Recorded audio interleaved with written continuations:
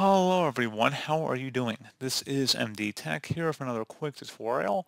In today's tutorial, I'm going to show you how to change the width of tabs in the Google Chrome web browser. So this should hopefully be a pretty straightforward process here guys, and without further ado, let's go ahead and jump right into it.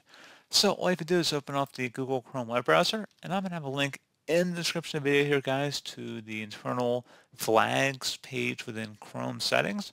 You can also alternatively access this by just typing in Chrome and then a colon forward slash forward slash flags and then another forward slash at the end and you want to hit enter. In the search flags field, you want to type in tab scrolling versus enable tab strip to scroll left and right when full. You can click in the drop down here and you can select different options here such as enabled tab shrink to pin tab width tab shrink to medium width, large width, or they don't shrink at all, meaning that if there's a long header or title to a web page, it'll change how it's displayed up in the header up at the top of your tab.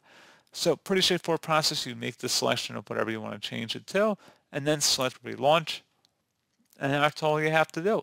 So pretty straightforward process, guys. do was able to help you out, and I do look forward to catching you all in the next tutorial. Goodbye.